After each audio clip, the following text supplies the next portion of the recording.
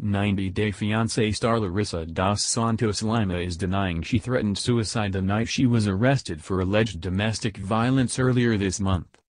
I would like to clarify that the rumors about drug abuse or suicide attempts are not true, she said according to TMZ. I love for my life so much that I would never try to do something like this. Her now estranged husband, Colt Johnson, told police that she swallowed half a bottle of antidepressants and then locked herself in the bathroom of their Las Vegas home the night of the alleged incident. The Brazil native initially posted grisly photos showing the deep cut to her face and scratches all over her body.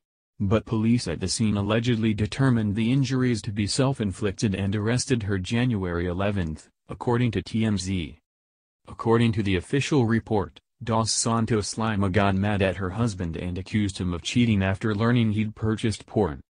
Johnson quickly filed for divorce in Nevada after the incident. The 32-year-old reality star previously was arrested twice in 2018, June and November, on domestic violence charges, but both misdemeanor cases were later dismissed.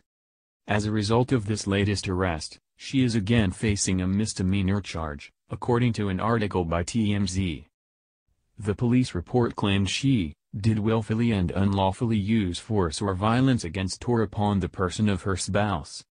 It was revealed in December that couple had secretly married in June 2018. The estranged couple starred on the recently concluded sixth season of TLC's 90 Day Fiancé. The reality show follows couples who have applied for or received a K-1 visa available to foreign fiancés of U.S. citizens. They have 90 days to decide to marry before the visa expires and the foreign half must leave the country.